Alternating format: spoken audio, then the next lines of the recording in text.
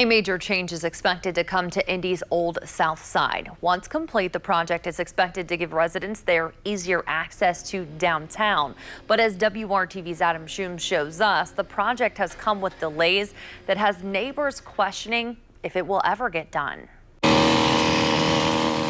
In the Old South Side neighborhood near South Meridian Street,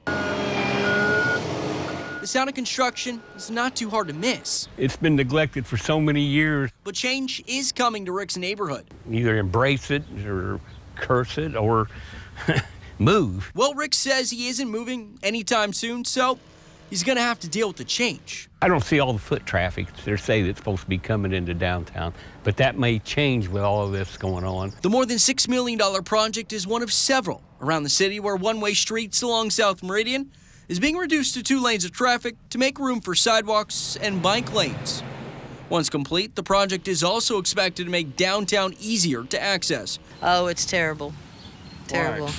All the traffic, detours. detours. But officials say they've run into some issues. The project started more than a year ago, but the city says the contractor is blaming a material shortage for the delay supposed to be completed earlier this year, and now the Department of Public Works says it won't be ready until next summer. And now they're trying to hurry up and get it all done because we got all this coming in here next year that they want to have it all nice and new for everybody that's going to visit. Rick is talking about major events like the NBA All-Star Game in February and the first and second rounds of the NCAA men's basketball tournament in March. Rick will also tell you that the added closures have made it a nightmare to get in and out of his neighborhood. You see people here, they park backwards so they don't have to go up, and that's a heck of a turn to make through that alley. Crews are out working today, and DPW says its crews are working to make sure those delays won't happen again.